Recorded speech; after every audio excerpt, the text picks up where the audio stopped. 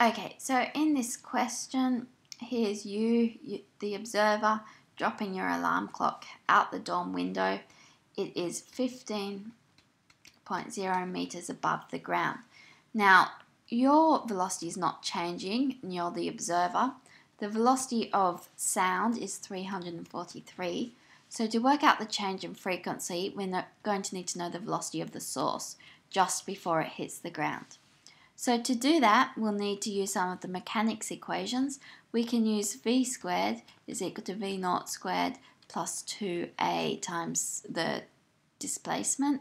So in this case, it's in the y direction. So initially the alarm clock has no velocity, so we're assuming you just drop it, you haven't thrown it towards the ground. So this is 2 times 9.8, which is the acceleration, times 15. If we take downwards as the negative direction, then this 15 is in the negative direction and this 9.8 is also negative, so the negative signs will cancel each other out.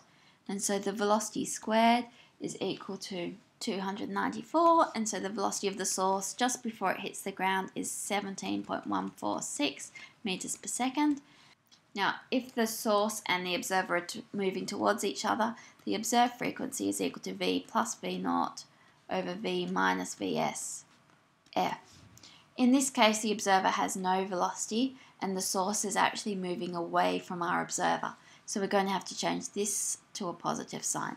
And so f dash is equal to 343 over 343 plus 17.146 times the initial frequency, which was the 600 hertz.